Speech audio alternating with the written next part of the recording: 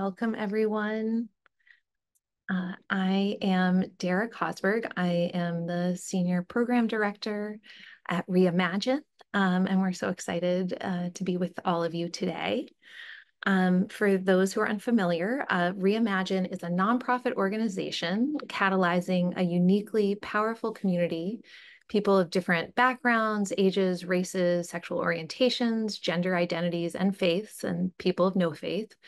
Um, we all come together to heal ourselves, our communities, and the world, and we support each other in facing adversity, loss, and mortality to transform life's biggest challenges into action and growth um, reimagined uh, resources, support groups, events like this one today are free and accessible to the public. And this is made possible because of the support and generosity of participants like yourselves. Um, so for those who already have made a tax deductible donation when you registered for today's program, thank you so much. Um, your gift will immediately support Reimagine's mission to help people of all walks of life transform the hard parts of life into purpose and meaning. Um, and uh, Nicole is dropping a link into um, the chat uh, for um, if you're interested in donating. Um, so welcome to uh, the long goodbye, um, which is our theme for this month um, around anticipatory grief. Um, this is the final session of a three-part series uh, called The Long Goodbye. And I'm just gonna advance my slides. Um, and it's all about taking action. Um, so I'm glad that we're here today with Claire Bidwell Smith and Darnell Lamont uh, Walker. Um, and I'm going to be sharing a little bit more about them very soon. Um, a few weeks ago, we hosted a panel discussion about the expectation of loss and the grief that we experience before a death or an actual loss. Losses include not only the deaths of people, but also the effects of climate change in the natural world. Author, grief expert, widow, and cancer survivor Lisa Keefauver moderated the discussion. Um, Kyle, Kyle Hill addressed how Indigenous communities are coping with eco-anxiety and further losses of native, native land. Um, Jamie Thrower discussed how folks in queer communities navigate loss as they prepare to come out to biological family members who may reject um, them. And Dr. Quinn Galloway Salazar, a death doula who serves veterans, emphasized the importance of being present for families caring for a loved one in hospice. Um, and finally, uh, Maya Sachs um, shared how ritual, sorry, Myra Sachs shared how ritual is key to navigating anticipatory grief, in particular with her experience as a mother of a child with terminal illness. Um, last week's session was led by Jamie Morrison. Uh, she's a choreographer, educator, former caregiver, and widow. And our gathering was a movement workshop uh, for those anticipate, oh God, anticipating um, loss. Jamie talked about the duality of emotions and experiences, living with sorrow and joy, living with absence and presence, and living with loss and love. And she compared the experience of caregiving as time traveling. You reflect on the past, stay present, and envision the future connecting with the body through movement can be a grounding experience as you travel across the multiverse of grief. Um, and as a reminder, we do have recordings of all of these on our YouTube channel, um, and which we can drop a link later um, and really recommend uh, you checking those out.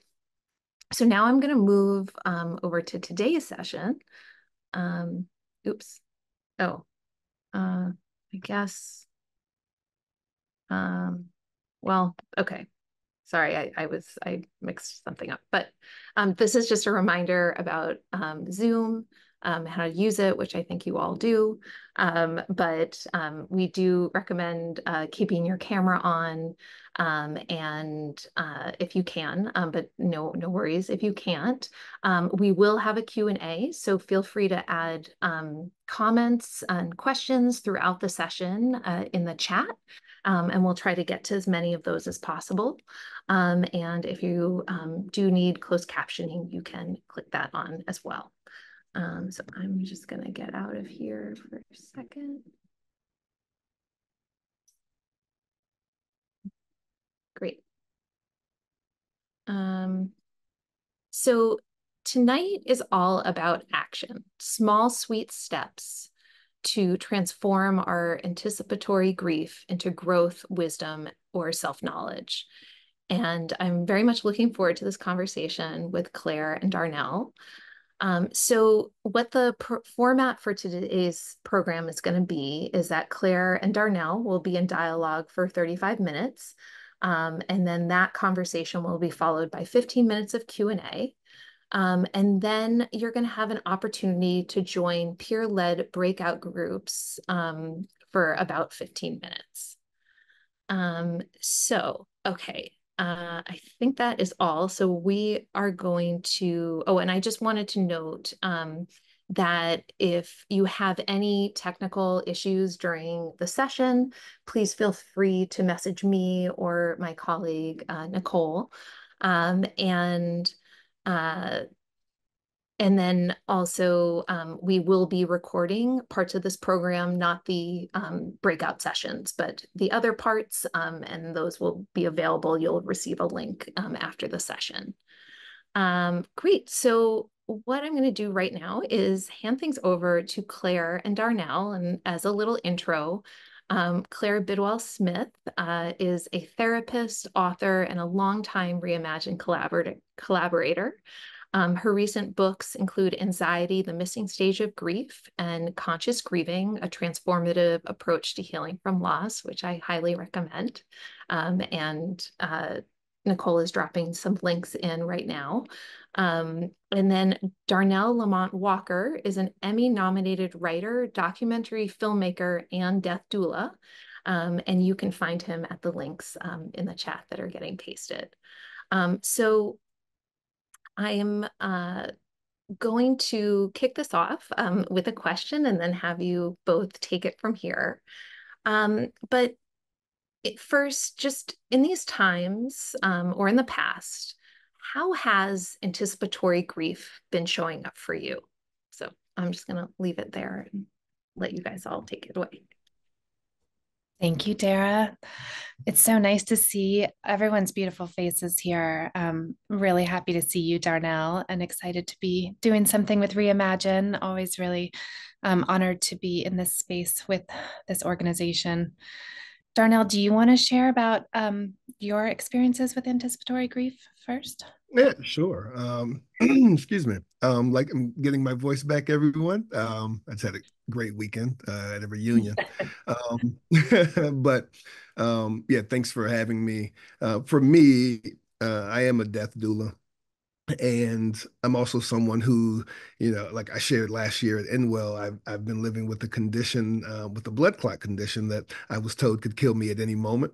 Um, and so, uh, you know, I live with the awareness that death could happen at any time, which is could be shocking, but for me, it's been like this great thing where I've been able to live a life that I've wanted to live. It's pushed me in that direction.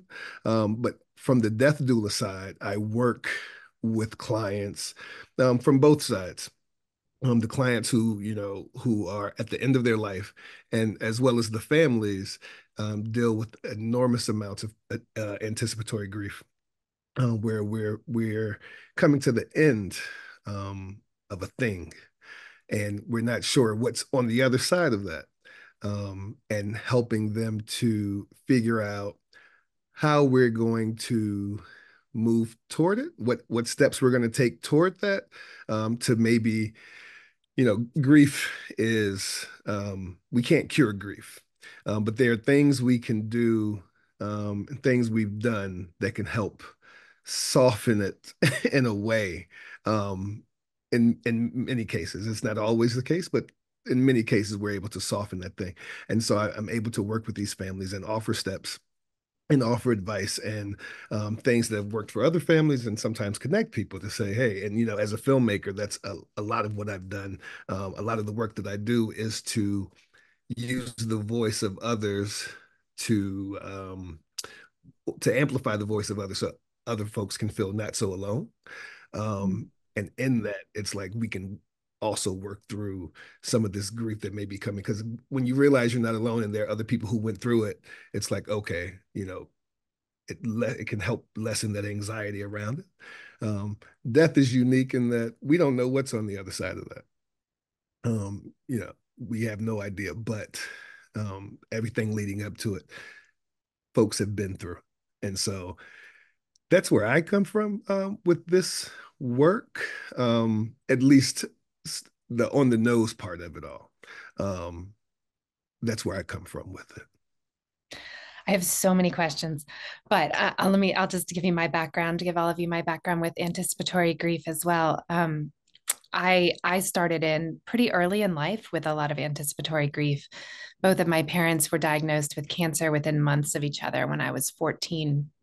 And I spent a lot of the my teen years while they were going in and out of treatments and diagnoses and I spent a lot of that time in denial that that there was anything that was going to happen, that they were going to die, and a lot of that was due to the way that they handled it. You know, they didn't ever talk about death or dying. They didn't. We didn't have a lot of conversations about any of that. So I just kind of went on my way with my teenage years, paying attention to school and boys and things like that. And when my mother died when I was 18, I was a college freshman her death was really shocking to me. Even though she had been sick for 5 years even though you know we had been through so much in terms of her illness her death was very abrupt and shocking to me in many ways.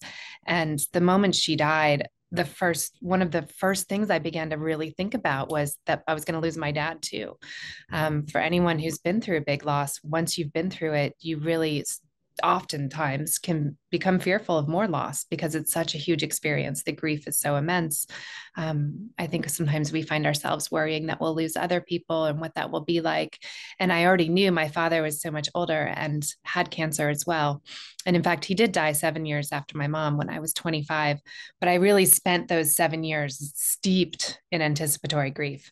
Um, and it wasn't it wasn't in a good way. I mean, I'm tonight I really want to make sure we talk about some some great tools and ways that anticipatory grief can be empowering and um, and there's positivity to be found in it. But for me my early experience of it it was really rough because i had no tools. I didn't have anyone guiding me through that. We did not have a death doula. My father in some ways um, he he really chose to embrace the end of his life in a way that was very different than the way my mother did. Um, my mom was just trying treatment after treatment up until the very last minute, and we never really kind of found any peace or had conversations that that could have been had. But my dad wanted to die at home with hospice. He asked me to be his caregiver. And I kind of went into it kicking and screaming. I just didn't want to lose him. I was so scared. I didn't know anybody my age who was going through anything like this. And he um it was like a really beautiful last act of parenting of kind of guiding me through his own death and asking me to show up for it. But i had a lot of anticipatory grief. And for me it looked like a lot of anxiety uh, a lot of fear um, a lot of sadness and grief but not grief that replaced or t- took the space of the grief that would also come later. Um, it was kind of its own beast. And in the years since I, you know i've i've kind of turned all of this into my life's work, writing about grief and speaking about it and becoming a therapist who specializes in this. And um, I sit with people all the time who are either facing a death of a loved one or they have just been through one, and just kind of helping them untangle the grief process and and and find ways to sit in it. And I think um, I think it's really helpful, like you said, to find others that you can connect with and feel seen and understood within that process. And I don't think any any of us should ever fault ourselves for needing support as we go through this kind of stuff in life. These are big things, you know, losing people we love, facing terminal illnesses, facing all the other big changes that are going on in our world right now. It's tough. I tell my kids all the time, it is not easy to be human in the world, and I think we need to help each other do it. Um, so Darnell, what um, when you when you were first diagnosed with this blood clot, like what did you have a lot of anxiety? How did you kind of come around to the place where you seem so zen now? And you're like, yeah, yeah you, you know, it could happen at any minute. Living my best life. like, yeah, you know, was that there from the beginning? It, it was it's crazy. Yes. Uh short answer. Uh um the long answer. Um I, I had never dealt with anything, you know, personally uh that big in my life where, you know, death was a possibility. Um, but since I was nine, like my story of becoming a death doula, um, the short version of that is my family, my grandmother anyway, and my mother, we've always talked about death. We talked about, you know, how she wanted to die, how her mother died, how death was handled in the family. Um, bef- when my grandmother was a child and but there was no one else she could talk to about it because the family didn't want to have those conversations um, and so it really it got me used to the conversation of death and death itself and then at, at 13 just looking for something to do i volunteered at a hospice in my hometown and i was always around death so I, I, for me, I think, and I haven't even examined it that much. So I love this question um, because I don't get it often. But um, when it happened, it was um more of a you know the doctor comes in and I, I think I thought I just pulled a muscle. And he says uh, well you have he's like how long have you been out of breath? I was like oh you know about a month and a half. And he says well you should have died about a month and a half ago. There are three clots in your lungs and there are 16 that go from your ankle all the way up. And I'm thinking oh well let's fix that. And that was like that was the that was the thought. And I and I thought you know maybe I should just get to this life that I've always wanted to to lead. But I think I was halfway there anyway, and it was kind of like this push. Um, mm-hmm. So there wasn't much anxiety around it. But then I think a few years later, um, and when my son, um, so my son who's now he's in college now, but uh, he was young. He he wasn't born when I was diagnosed, but he was born shortly after. But when he turned about five, and I thought, oh my gosh, I really want to be around. Mm. Then anxiety kicked in. And it was like, okay, I have to stay I have to stay alive long enough to um, so that he can realize who I was. So he knows who I am, who I was, and I can share these stories that I have. Um, so there was anxiety around that. Um, there were nights when I just sit and think I couldn't sleep just thinking about it. So I started writing. i have always been a writer, but I started writing these stories out. Like if this should happen, this is what I need him to know. Um, and so it came much later, uh, and it was more so because of him. Um, and I, I'm sure that if I didn't have a child, it would be just a, oh yeah, I could die at any moment. That's fine. I'm just going to keep on, mm-hmm. keep on going about this life, you know?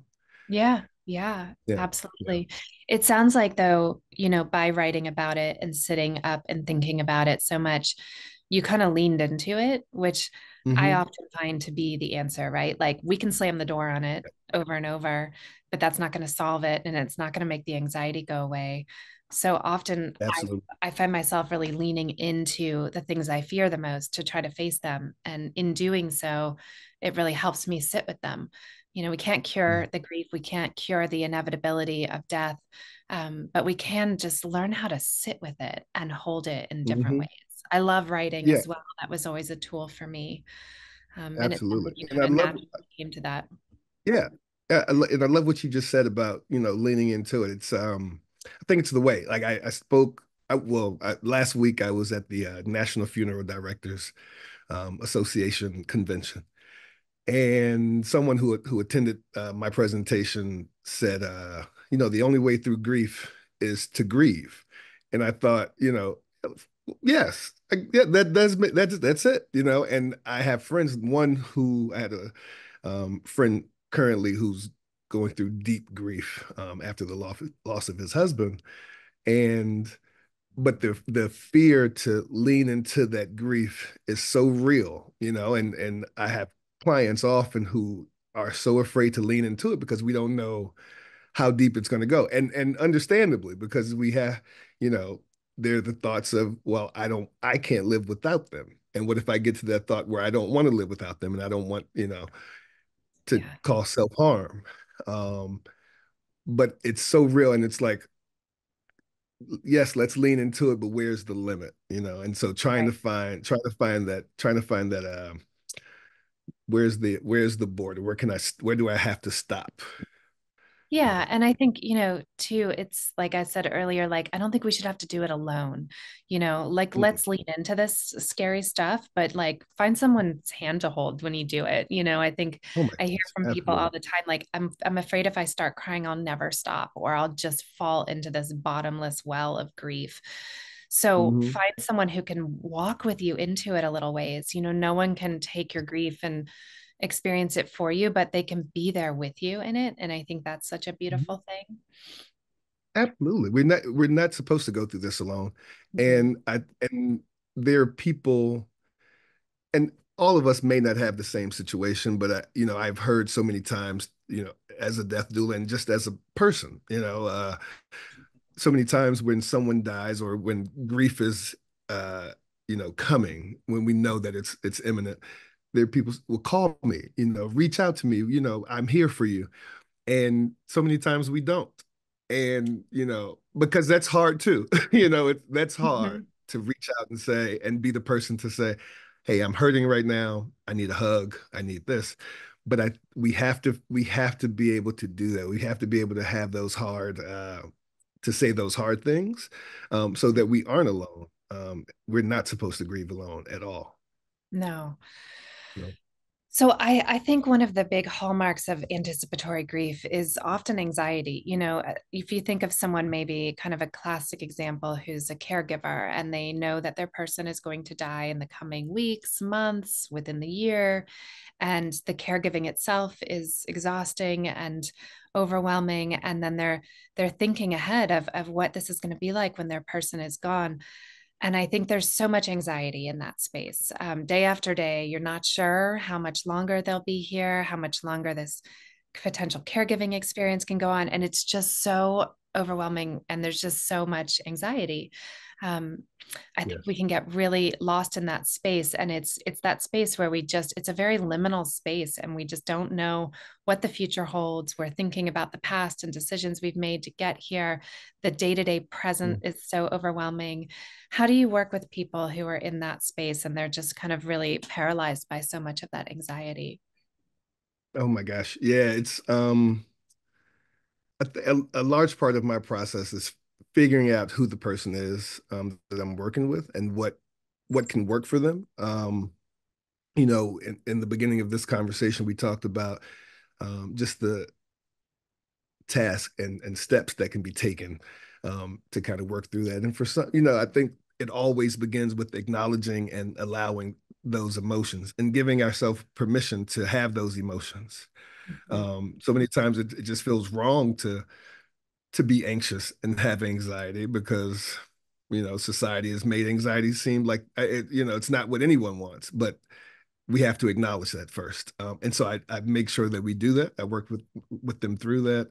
Um, recognizing and naming those emotions um, can sometimes make them more manageable.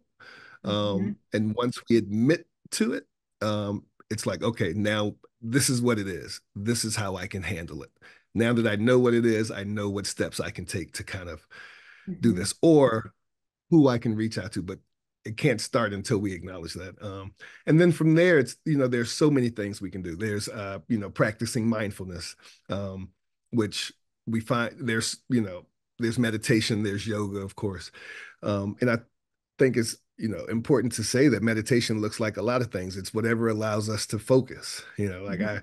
I can wash dishes and I'm meditating. I I go for rides in my car and it's with no music and it's just you know, I, I once drove across country I got to from Georgia. I think I got to Oklahoma when I till I, when I realized I hadn't been playing music the whole time and my mind has just been focused, you know, and um, that's part of it. Um, seeking support. Again, we're not supposed to do this thing alone, and and support groups still exist. I, you know, I, and it's it's it sounds crazy, but we and it's like I don't know if I want these people to. I don't want to be that vulnerable just yet, and that's fine. Um, finding at least one other person to talk to Yeah. um, is is a is a big thing. And you know, my my favorite thing is like the free form of therapy, which is, is journaling.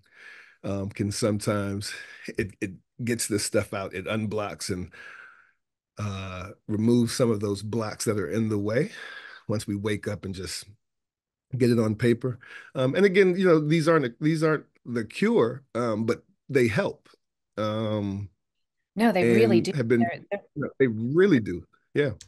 they're big things, you know. I think you, I think we often in many different kind of wellness and self-help spaces hear these things of like journaling, meditation, mindfulness, but for a reason, you know, and and especially mm-hmm. with anticipatory grief, these are the tools that really help us step out of that spiral that we can get into where we're just spiraling out, thinking about the future, worrying about the grief, worrying about the person being gone, and just bringing yourself to the very present moment, you know, focusing on your breath, focusing on the temperature and the air, focusing on the sounds you hear can just take you out of that that mind spiral that we can so often get into. And I think mm-hmm. doing things to calm your body, just doing some really simple breathing exercises that will like calm your nervous system down when we're in that spiral of anxious thoughts where, you know, our whole nervous system's getting amped up. So doing some really simple things to calm mm-hmm. the system down. And writing is such an amazing tool for all of this as well.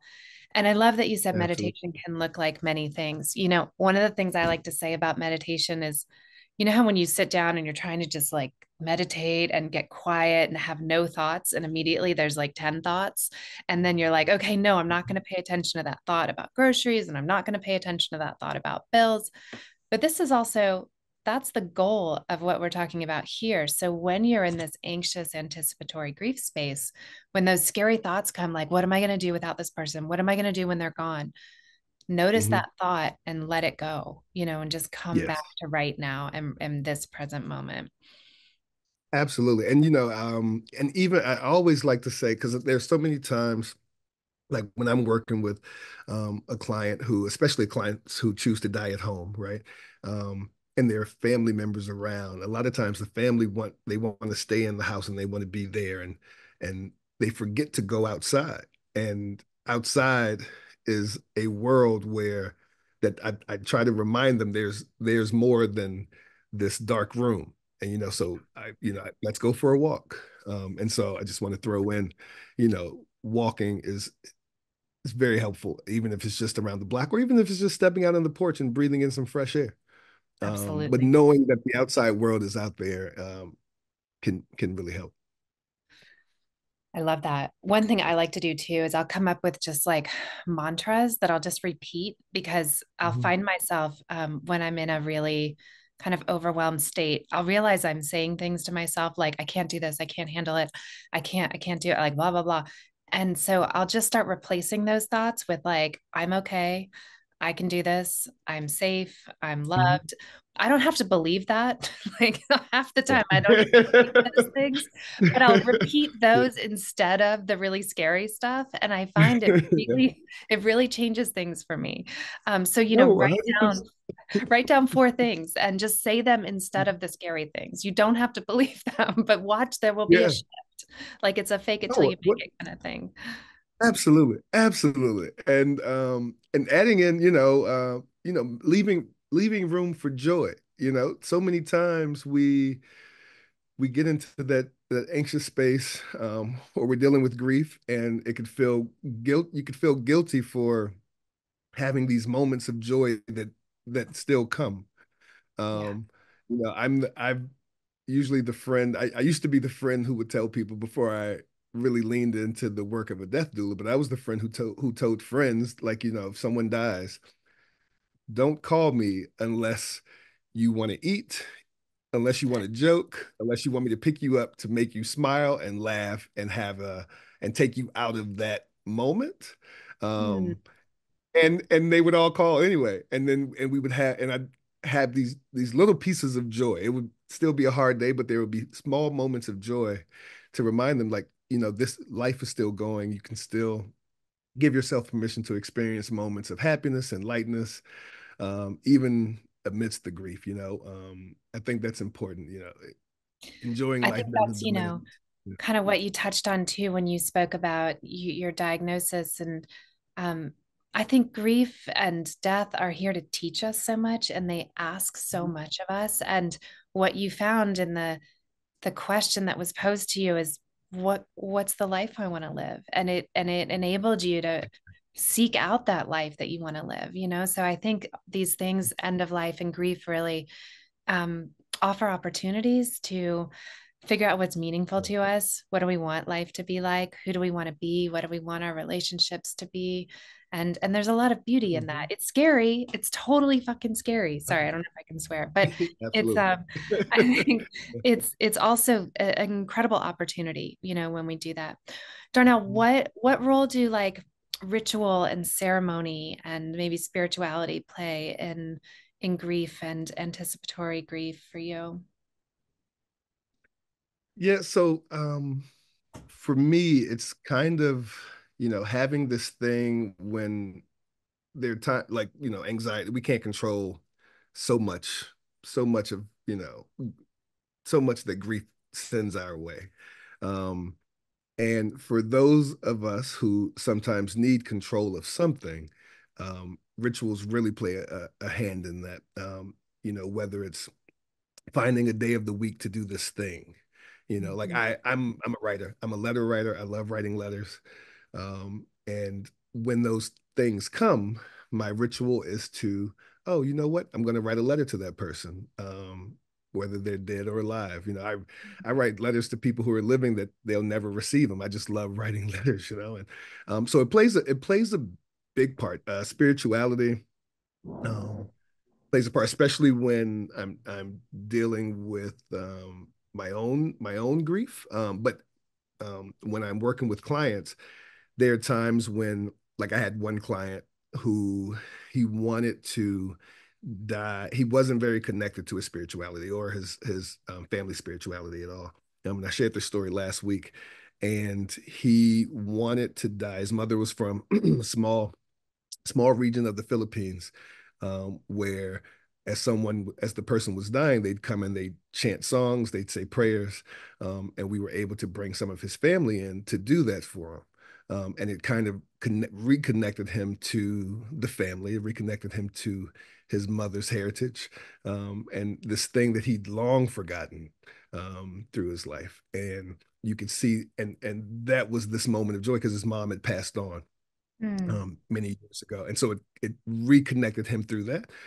Um, and as a person who's seen death, you know, it's just a beautiful thing to be able to give um, someone the death that they that they ask for, um, or get as close to it as possible.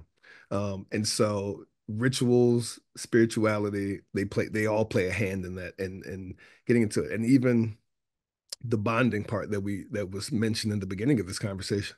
Um, it's it's it's huge in that. Um, and and in doing these rituals, you can bring other people in. I've I've you know been able to engage my family members in writing these letters as well, um, where we we also meet up on um, my grandmother on the day she, on, on, her birthday and the day she died. You know, we try to have conversations at least, but hopefully meet up for a picnic or you know family reunion. Um, so all all the ways, I think, I think it's extremely important um, for anyone. You know, whether the person died 30 years ago um, or is someone on their deathbed now. Um, I think it's yeah. extremely important. Mm-hmm. I love that. I think you said something at the very beginning. I can't remember what it was, but about ritual, it's like it's something you can do and have control over. And I think there's mm-hmm. an intentionality that comes with ritual that can give us you know a little bit more of a sense of feeling empowered in our in our process and in our grief and our experience and i love that you know with rituals you don't have to have any particular faith or any faith at all it, it's just it's a way to to get intentional with what's happening and it's a way to tune into yourself and mm-hmm. it's a way to kind of explore the process I've always loved writing too. I write a lot of letters, love writing letters to dead people. And um, it's amazing. It's, it is. it's, it's such incredible. an amazing thing, you know, like, uh, and, and the first one could kind of be it, could be a little strange. You're not sure what to do. And I actually put a template on my Instagram a few weeks ago because I was like, you know, other people should do this. A friend said, "What can I?" You know, he's like, "I miss my mom. What what could I do? You know, I wish I could talk to her." I was like, "Well, you can. Yeah. Write a letter." He was like, "Well, what?" And this person is not a writer at all. He's like, "Well, what do I put in the letter?" And I was like, "Oh, maybe I should create a template, maybe for that first letter." And it's like hey this is what i this is what's been happening you know since you left this is i feel this is what you would say to me and, and in those letters you you remember their voice and you remember who they were and what they'd say to you in these times and it's like oh yeah right mm-hmm. on you mm-hmm. know i still remember that Um, letters and with the act of writing, you like can't help but imagine how they would receive it, how they would hear it. So it mm-hmm. really feels like you're in communication with them in a really special way. Um, 100%. For the Q and A, I just mm-hmm. want to ask you one last question. Um, how how how do you what advice do you give for someone who's maybe supporting someone who's in this kind of anticipatory grieving situation? It sounds like you have lots of fun activities. Um, how do you support someone? I, I think so many of us struggle when we see loved ones struggling. You know, if I have a friend who's caring for a mm-hmm. dying mm-hmm. loved one, it's hard. It's hard for me to sit with that and and i want to fix it. I want to make them feel better but we can't always do that. But how how can we support them? Oh, yeah you know um oh you're fine. Um the but it's funny. I i remember when i got to college and i was a speech communications major and I had to take a class uh, called effective listening. And I thought this would be the of course everyone listens. This is the easiest class I'll get today. And got in there and realized that no one listens. no one listens, and it it changed my life. That class changed my life. And um, now that I do this work, I I realize that the most important thing I can do in this work, and the most important thing we can do to support anyone going through grief or anything uh, in their life is to listen. Um, that's the short. The long one is, you know, people when they are experiencing grief, when someone dies, they don't know what they want, but we can still sit there, hold space for them, be there for them. If it's, I'm just okay. I know you don't know what you need, um, but we know our friends. It's like, okay, I, I know you don't know what you need, but I know you need to eat. You haven't eaten in days. Here's some food. Um, you know, here's some water. Let's walk. Let's take a walk outside. You haven't been outside in a long time. Um, and sometimes this is just me sitting on the end of the couch for five days and you haven't spoken to me, but I'm here. And when you need to talk, I'm here. You know, um, but just listening and and the answer may or may not appear, but we are there and we're holding the space. Um, yeah. But yeah, yeah I mean, that's that's really the, the the biggest thing. It's just to listen and to not, you know, again, people don't know what they want a lot of times because they're they're in it and eh, they're everything's cloudy and they don't know. And so yeah. not trying to pull it out of them, but just being there, holding the space and listening. Yeah, absolutely. Not trying to fix anything. Not you don't even have to yeah. have all the answers. You just have to be there. Yeah. Yeah. Just have to be there. Yeah. Beautiful. Dara, are we doing Q and A? Um, um, would you like me? I can read the um, sure. question so far. So this is from Kayla, um, and th thank you so much uh, for this conversation. And um, yeah, Dar Darnell, feel free to. Um, I don't. I don't know, Nicole. Maybe we can keep Darnell um, spotlighted for now. Just so uh, I am a and and Claire um, I'm a therapist who works with uh, people with cancer. There's so much grief in the process from lost body parts, lost vitality, and anticipatory grief. However, many of my clients do not want to go there. Um, there's a belief that focusing on mortality will bring death to them. I want to honor their desire to align with hope and positive and a positive vision for the future, but I also want to help them process the grief that is obviously present do you have any guidance for how to best support these people? Mm, I'm going to let you start with that, Darnell, because I think this is the work you're doing pretty often. Mm-hmm. yeah, I work in, um, I work with a lot of families um, and a lot of people who don't want to talk about death. Uh, it's bad luck. It's, uh, you know, they they weren't raised to talk about it. Um, folks in my own family, and and it is tough. I I, I remind them though of people we a lot of us know people who've died and families have fallen apart. Um, you know we haven't planned for it. We haven't we don't know what they want. We don't know where the papers are. We don't know where any of this is. So i tell them that planning and preparing and having these conversations is what love sometimes looks like you know? Um, it, it helps us you know while we're grieving we also don't have to do a b c d and e before we get to the grief. Um, we can just, it's already there. Um, and so I, I just lead them in that direction. My dad's one of those people who, you know, doesn't go, I don't, he doesn't go to hospitals. He doesn't want to talk about death. He doesn't do it. But now we are having conversations about it because I've convinced him that, you know, talking about it looks like love to me um, and to his, uh, his other kids and um, to the family.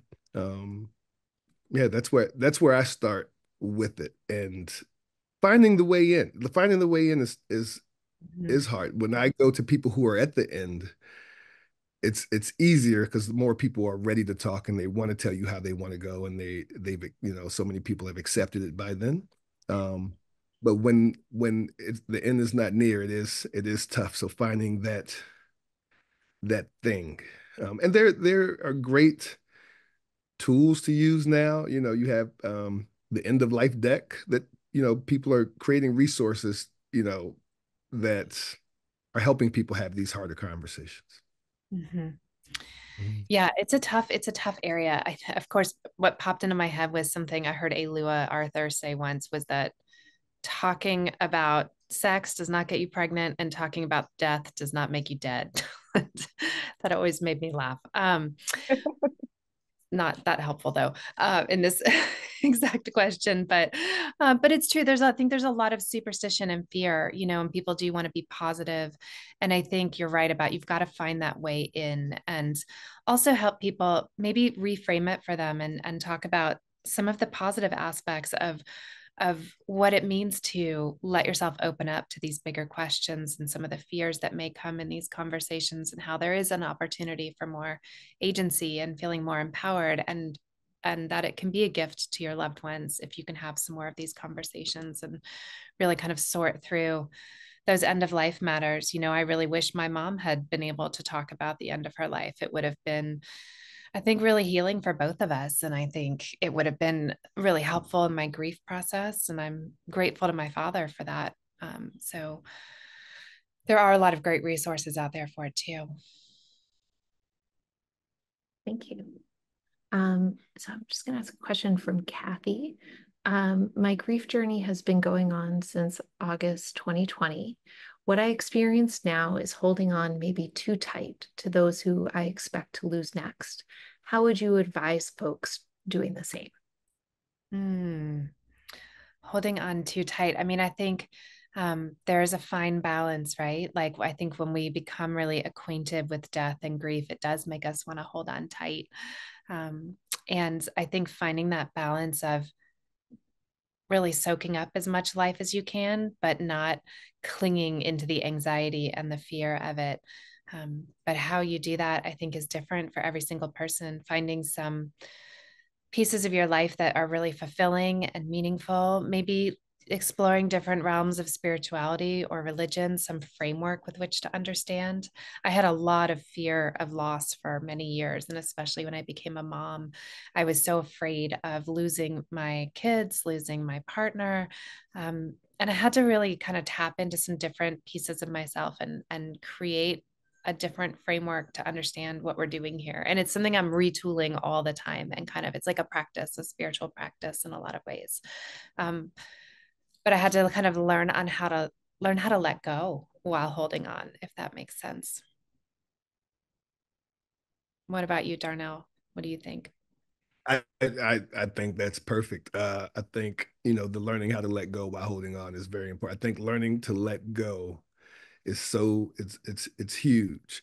Um, but also, you know, like you said, finding that finding whatever's going to help you understand it, um, and and using it as as uh, a time to bond and a time to um you know pour love into someone but again not holding on to the you know clinging like or leaning into the anxiety or the anxiety part of it. It's um you know using the time to ask the questions that you've always wanted to have to to start talking about the preparation and and the end you know one of the first questions i always ask is how how would you like to die and that's how I that's how I go right on in there. And, and then we, you know, and I always say we're gonna get to the joy part, but we got to get through this hard part first. But if you promise, if you can promise me to get through this, I promise we'll get to the joy.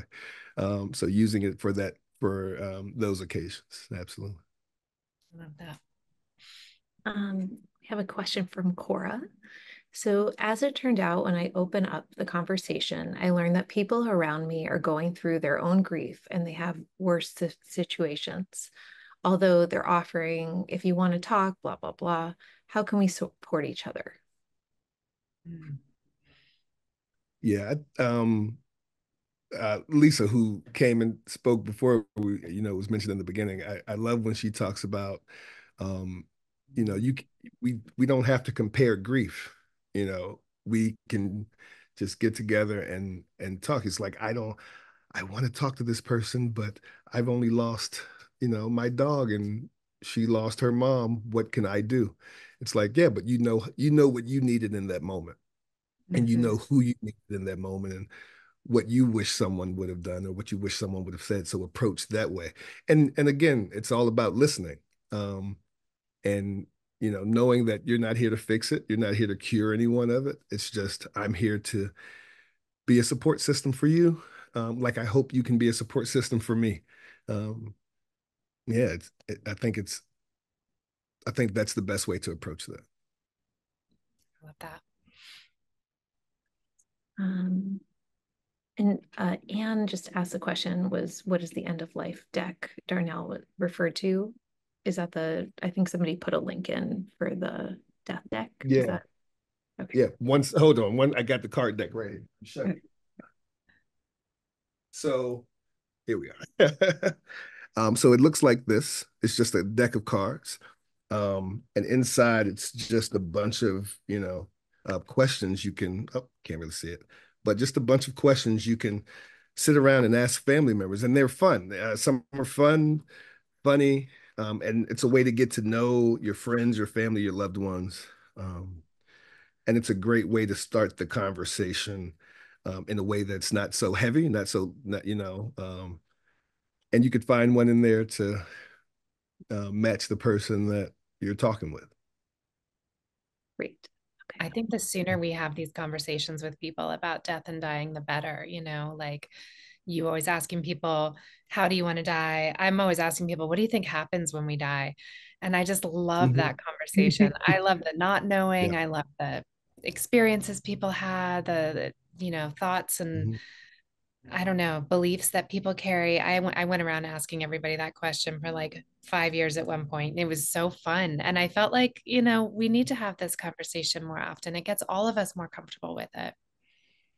Yeah, absolutely. I, I one of my favorite questions is, you know, what what's if hearing is the last to go, what song do you want to hear? What song do you want played as you're as you're going out? You know, and people like music really pulls us back to a time, to to a person, to people. Um, and everyone usually has an answer. Yeah. Yeah. Hmm. Um, there's a question from somebody who is on uh, a terminal path and uh, they're curious if um, you think that by preparing the family for it and then committing suicide is preferable worse for the family than going through the extended death process?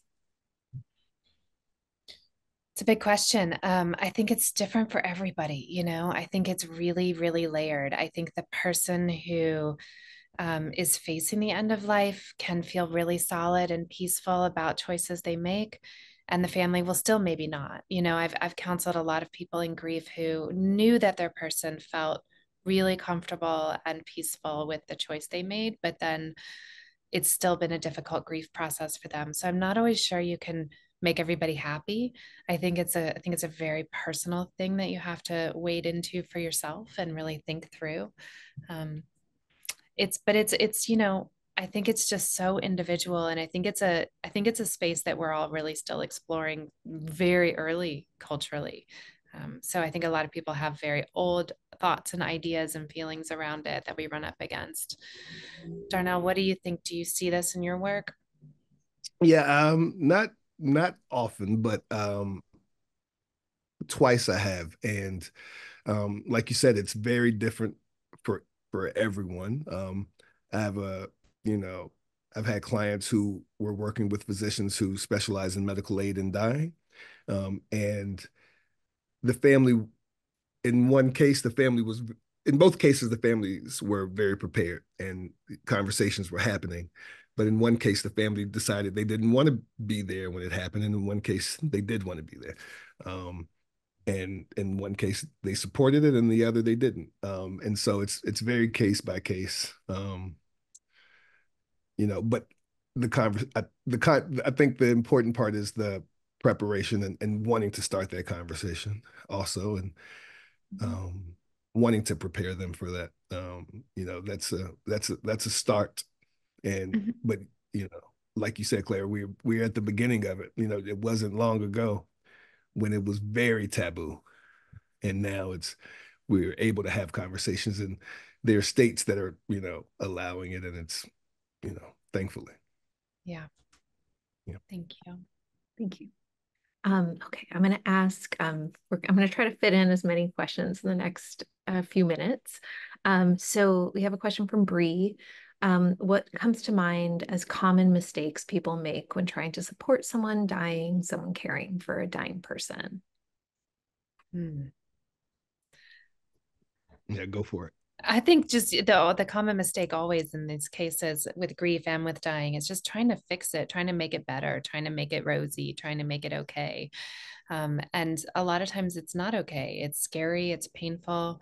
Um, there's so many different aspects of it. And so it just goes back to what we've been talking about, you know, that really just being there, listening, um, not trying to fix, not trying to have that kind of toxic positivity, going into any of these cases with curiosity and compassion and openness and um, a desire to just show up with your full self not be afraid too of what it's going to bring up for you. Um, I think death and dying and grief always bring up our own grief, even if we're just adjacent to the experience of what's happening. Um, and just being open to that too, feeling your own stuff that comes up and acknowledging that for yourself is important. Yeah, I think that, that, that I have nothing to add to that. I think that's that's exactly it. Mm-hmm. Yeah, there's a question from Theo um, how to respond to family, friends, and even grief workers who want me and others to center spirituality or religion in our others' grief practice or end of life plan. I see a lot of people assume that spirituality must be a part of the grief process. Anything can be a ritual, any act can have meaning. Yeah, no, yeah. I don't think spirituality or religion ever have to be part of it. Um, I think they can be useful for some people. I think there are some people who um, can really find a lot of catharsis and framework and um, healing in those spaces, but they're not for everyone. I think that we can we can find just as many uh, beautiful tools and and ways to understand and process that don't have anything to do with spirituality or religion. Writing a letter to a dead loved person doesn't they you don't have to believe in anything. You don't you don't have to believe that they'll ever hear it or see it. You're doing that for yourself. That's something you're doing to process and feel connected. Um, there's there's so many ways we can do that. And i i think i think it's important to let people know that those if those tools are or if those spaces are not ones that um, feel aligned with your process then you should let people know that because no one should be pushed into those Exactly. And just show up as you. Show up who you are. You know, they your loved one, whoever it is, if it's your loved one or if, it, or if it's you, um, they know who you are and they don't expect any anything different. Yeah. Okay. Um, so I think this will be our final question. Um, this is from Kara. Uh, what supports you um, to be in community as we experience the failing of systems, televised genocide, climate disaster, etc. The anticipatory grief of the tremendous world changes feels overwhelming in these times. What was the first part? Like what inspires us to still what, be in community in light of what supports you to be in community as we experience? Like, so I maybe uh, for me, I don't know. I still believe in humanity in spite of like all the insanity that is going on in our world. And I think there's a lot of really scary, sad stuff happening in our world right now. And it can, I think it can be easy to get a little lost in having faith in in humanity but i think you can also walk outside of your front door and like just look into someone's eyes and talk to someone and interact with someone or be with a loved one and just find mm-hmm. so much beauty and humanity. I don't know. I really think there's still so much to support us coming together and working together and trying to resolve all kinds of things.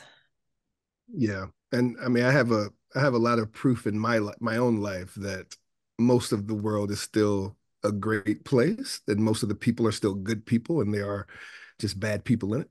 Um, but also, you know, um, self care. There, I, I, practice an enormous amount of self care, and um, that's you know, even on the days when it's hard, it's tough. It's like I need to do one thing that that you know feels good, and sometimes it's the the best thing I'll do that day is journal like four sentences, you know, but um, that's that's what supports me um, in my um, in me wanting to keep going. Yeah. Yeah. Love that. Well, uh, we're going to move over to our breakout groups in a moment. And I'm so sorry for those uh, who I wasn't able to ask your questions. Um, but uh, thank you, uh, Darnell, and thank you, Claire, for really um, a very enlightening um, conversation for me. I, you know, have been in this world for quite some time, and uh, I was hearing new things and uh, just reflecting on this particular really differently. So thank you. Um, imagine for holding space for all of this and all of us. Yeah, thank you so uh, much. Yeah. Um, so I know that Claire um, needs to take off before the the we go into breakout groups. I don't know if Darnell you you can hang out for another 15 minutes, but um, we are going to uh, uh, go into small groups of three to four people for just um, about 15 minutes. And um, the only thing that we ask is that uh, for um, those who opt for breakout rooms that you we request a minimum of audio participation with a preference for audio with video um, for those who do not wish to verbally participate uh, in breakout rooms just uh, we ask that you stay in the main room um, i'll be in here um, and then please be mindful of the time and make sure that everyone has a chance to share. This is not about giving advice to others. It's just about active listening and sharing your own experience. And as Darnell shared, really the most important thing is to listen. Um, we will paste instructions in the chat now for those who need help while in breakout rooms. Um, again, I'll be in here, so if you ever need to leave the breakout room. Um, and uh, then um, we'll come back together for a little Q&A. Um, so I believe, um, let's see. And yeah, and I think uh, what we'll do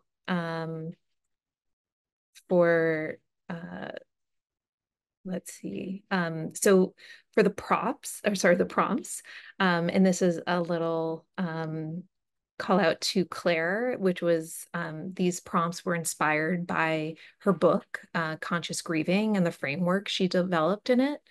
Um, so the questions that you all are going to talk about are how are you staying present and taking care of yourself as you navigate anticipatory grief? And what steps can you take to carry your grief with intention in order to continue to grow, heal, and thrive? Um, and so um, we'll be in there for um, about 15 minutes. And so, uh, you know, each of you will have about three minutes, um, two to three minutes uh, to share. And, um, you know, you can use the time as you'd like. Um, and I am going to set up the breakout rooms. Um, uh, and if anybody has any questions, feel free to put it in the chat. Welcome back, everyone. Um, I, I know that we are almost at time, but I do want to just see if anybody had any reflections they wanted, just brief reflections that they wanted to share from the chat, whether just like how the experience was or any kind of insights that that came up and, you know, just kind of speaking, um, you know, for yourself. And I will, um, if you want to just use the little reaction and raise your hand. Okay, I see. I Tecuani. I'm so sorry if I am mispronouncing your name. You should be able to unmute now. I, Uh, yeah. Um. Um. Absolutely, you did not say it wrong. Most people do. Um, it is Tecuani. Um, it um, it means leopard in my indigenous language. I'm the Wat um, native, and um, I just had a very beautiful. I've had like I've experiencing sort of grief of a, a person who's alive as well as my own mortality because I have an autoimmune disease that's pretty rapidly progressing. I mean, I still have a decade to go, but um, it was a beautiful experience to have someone who can understand my culture, and we were able to have. I think just a moment, a beautiful, miraculous moment of where we're both trying to figure out how do we maintain our joy or how do we share joy without feeling guilty for being joy, joyful? And I think a lot of communities of color often feel very, um, because we're often told we're too loud, we're too this, we're too this, that we find it to be disingenuous to share our joy with those that are dying. And so to be able to sort of come together and like the common theme was finding joy and finding community in this conversation, it was a beautiful moment for me and I do feel truly, truly honored that it, I think it was Morgan, I believe that was their name, um, was on the chat with us. And I do apologize if the other person left. I hope they didn't feel like maybe because it was too loud in the restaurant, but it was just a beautiful moment, and I really I honor the space that they held for me. Oh, thank you so much um, for sharing that, and I um, I'll just reflect personally that as you know somebody who's experienced a fair amount of loss throughout my life and and grief that what i found was that if you wait for joy there's never going to be time so it's like kind of it's like you have to create it and it and it's um it's an act. And the, one of the things like I I'm I'm Appalachian and Afro Mexican, but my Appalachian is very Mormon, and so there is sort of this binary that exists within Mormon funerals and celebrations of life. And like, I absolutely know that I don't want a Mormon funeral. I want a celebration of life. I want people to be singing. I want people to be partying. I want people to remember that while I was here, I tore shit up. So, like, it was beautiful to have someone ask me how I'm experiencing joy, even though, like, I'm my life is going to be shortened. And being someone of color, it's never felt wrong to celebrate and really celebrate someone who lived with that much vociferousness. Like, and we forget that we're not allowed, like, we are allowed to experience joy, even in grief. So, thank you. Yeah, That's beautiful what you're saying. That's beautiful. Yeah, thank you so much. Um, okay, uh, Kathy.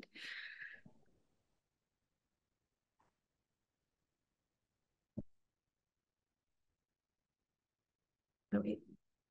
Kathy, are you here? She's muted. I see her talking. She's muted. Oh, wait, wait. Oh, I took wait. it, I took it off, but then it came back on, I Okay, guess. okay, you're back. on. Okay. Um, thank you to Frank and Sheila. We also had a really lovely group and Joy was part of it as well. Um, it really resonated for me how Frank shared that embracing what he's going through has allowed him to find some joyful moments too that he might not have seen or he may have missed if he wasn't going through what he is going through.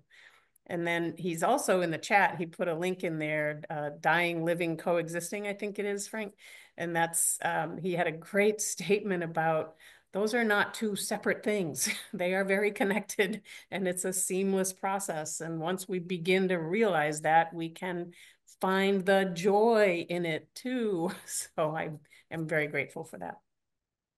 Thank you so much for sharing, Kathy. Um, and let's I'll I'll do Lonnie and then uh, Tanya, um, and then we should probably uh, wrap it up. Um, but uh, Lonnie, can you are you unmuted? Yeah, now? I'm on. I think I'm unmuted. Am I unmuted? Yeah, yeah. So um, I I never heard that uh, what was just referenced about dying living. But one of the comments that I did make was like we are all constantly dying and living. Like that's life. Like nobody isn't dying who is alive you know it's kind of that is the process. But i i wanted to share that um one of the things i i did have a friend who was dying of cancer and she had a funeral not a funeral a funeral. And in her last stages of death Um, and she was in another state. I knew her from back in New York. This was in, te- she had written to many, many people that we all knew each other, like, and had a, she said, I don't want people coming to my funeral when I'm not there to say goodbye and see them. And I thought that was such a beautiful thing. And I had, I personally had been you know with her at other times through this process but there were many that we knew together from years and years gone by and all being they they you know they came. And actually the news station came because it was in a park. She had like a i mean she was in really you know laying down and weak. And that was so beautiful. Um and i i don't know it was just the first time i'd ever even thought of that in terms of of planning for one's death. And it gave me some thoughts about it. I have other thoughts and plans and things but um i just thought i'd share that here because perhaps someone may uh you know may benefit or consider or yeah. So. So much for sharing lonnie. Yeah. Um, okay and uh tanya should be able to. Hey, everybody. Um, I am really glad that I um, made it to this event. I am, um, I've been a death doula for only two years, and um, I haven't had the experiences that a, a lot of death doulas that have been doing this for a long time have had. But the few experiences that I've had, um, have really humbled me. Um, being a person of color, coming from a background, a, a family that didn't talk about death, even when death was imminent or death was happening, it was just something that we dealt with, we pushed through, and we move on. And that was not something that I wanted to continue for my own children. And when I started realizing that it was a big deficit in uh, especially the communities um, of color where it was just like so taboo to talk about this.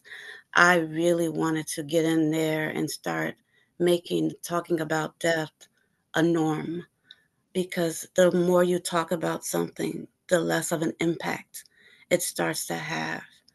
And for me talking about death how albeit strange to some people really helps me to sit in it and cope with anticipatory grief, past grief, grief that's happening right at the moment. And I think workshops like this are really needed um, just across the border because grief has so many layers, just like we are all so different here. And in our small breakout group, we talked about grief of, you know, a mom who's losing a foster child, and then grief of losing someone that you love. And kind of even if you've only been with the person for a little while, it still hurts because in that little while you've you've built something. So I just appreciate uh, being here for this workshop. Thank you so much for sharing, Tanya, and thank you for being here. And really thank you all for, um, I'm just so happy like 45 people stayed um, for the breakout groups. Um, cause sometimes it's like people are like, ah, I don't want to talk to strangers, but I have to say it's often one of the, the best parts of these experiences. And um, I also just want to thank Darnell and Claire for kind of setting this whole up, up and opening up their hearts and sharing their wisdom, which I think really um, helped uh, cultivate what magic and sharing happened in the groups. Um, Tecuani, do you have just like a brief? Uh, yes, I just wanted to make two, like not interjections, but just uh, uh, piggyback off what the person said previous about the funeral and things like that, and also like the the acceptance of like being able to both. Like I think especially, and then to piggyback off what the last young lady said is that like especially marginalized communities, there is this even in Christian communities, there's a weird flex to me that we don't hold space for vulnerability and forget that if we are coming from a spiritual or Christian practice, that the like in order for us to truly pass through those gates of judgment, we have to be vulnerable. We have to allow ourselves to understand that there's nothing that we can do like to be like we are all worthy. We're all worthy. And i think especially within like i'm afro mexican and so the trope of the strong black woman or the strong latin woman it, it, it, it kind of gives us like it doesn't allow us the full spectrum of our humanity. And the thing is the thing that i love most about being able to be vulnerable and cry is seeing how sometimes it, it discomforts people but then I can have a little bit of a giggle in it. And they're like, "Oh, you you good?" And I'm like, "Yeah, I'm good. Let's all cry together. Let's let's do this together. Let's not like feel fear in this grief. Let's let's empower ourselves to be able to feel the dialectism of this, like that is both, you know. And I I really resonate with that. That we don't often give ourselves room to cry in front of people who we're worried that we're going to be judged for not being strong enough. Thank you, Tecuani. So thank you for sharing. Um, I know that I'm so sorry, Andy, who normally does these events. I think he's more timely than I am. So thank you all for holding on. Um, I just wanted to just uh, briefly call out the chats that were or, or the links that my colleague Nicole just put in the chat um, that just to remind you that, um, you know, we are able to have these free, accessible, engaging events because of the support from all of you. Um, and uh, if you're moved to make a donation, um, there's a link. And then also um, we have a survey link um, and we'd love to hear from you about what worked well, what can be improved. Um, and then um, lastly, I want to say um, join us uh, in November for The Whole World in Our Hands, which is a three part series on collective grief. War, terror, racism, natural disaster, the pandemic, environmental injustice, and mass shootings, they all adversely uh, affect us directly or indirectly via news and social media. How do we resist emotional numbing when collective tragedies occur again and again? How do we remain hopeful? Um, and this definitely alludes back to that question that was asked earlier. Um, mental health professionals, spiritual leaders, healers, activists, and advocates will explore how creative expression, acts of service, and spirituality can help us navigate a pathway forward. Um, and the link is in the chat. And I just wanted to call out Darnell, no pressure at all, but if you had any like last thoughts, I I, I would love to hear your voice. Um, yeah. And yeah, no, I, I this has been absolutely amazing. Um, you know, even picked up some things that I have never uh, thought about doing. Um, shout out to Crystal, who was in my group, um, who talked about writing, um, having a journal where she wrote letters to her grandmother, who's no longer with us. Um, you know, just through throughout uh, many different moments in her life. Um, and um, shout out to uh, Nancy as well uh, for being a part of that group. Uh, I think we had a great discussion. I just want to thank everyone here um, for being a part of that. Um, and I look forward to um, using these in in the work that I continue doing. And please, and reach out if use me as a resource um, for anything um, to everyone here. I had a great time. Thank you. And I'll just, um, I'm looking for your contact info, which I'll, for you and Claire, I'll just repaste in the chat um, so people know where to find you. But um, I hope everyone has a wonderful evening wherever you are. And again, thank you so much for making this such a special event.